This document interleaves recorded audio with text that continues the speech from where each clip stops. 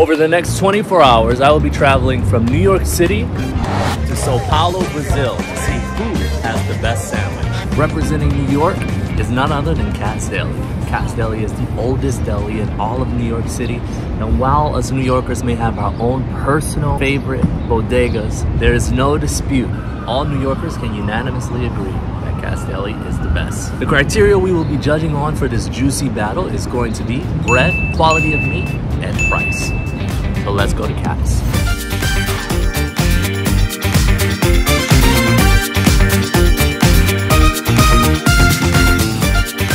And here we are, a classic pastrami on rye. I get cheese on mine, sandwich from Katz's. Oh my God, it's falling apart.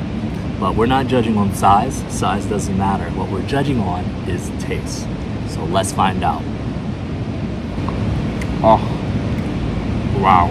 Mm, so good. So juicy. The meat is a really premium cut. You can see the fat. It is so good. And while New Yorkers, we always get a pastrami sandwich from our local bodegas, the pastrami we get is more like lunch meat pastrami. This is more like a brisket. Honestly, meat, 10 out of 10. The bread is a rye bread. Rye is not my favorite, but this bread is actually pretty good. Would be doing it injustice if I got white bread on it. It's soft, fluffy, pretty sure it's made in-house. I'd give it an 8 out of 10.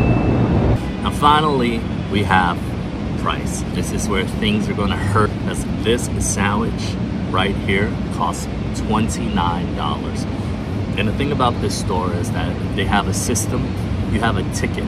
If you lose that ticket when you check out, you have to pay a fee of $50. Now, this sandwich is delicious, but at the end of the day, it is still a sandwich. I think $30 is a bit high. So for me, this is more of a special occasion type of situation. Mm. For price, we're giving it a score of a 7. So with those three scores added up, that gives our sandwich a final score of 8.6. I honestly thought it would be higher, but the price definitely tanked it. Unfortunately, it's just a bit too expensive.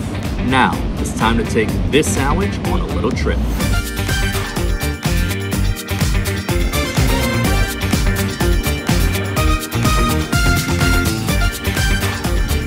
12 hours later, we've made it with sandwich in tow.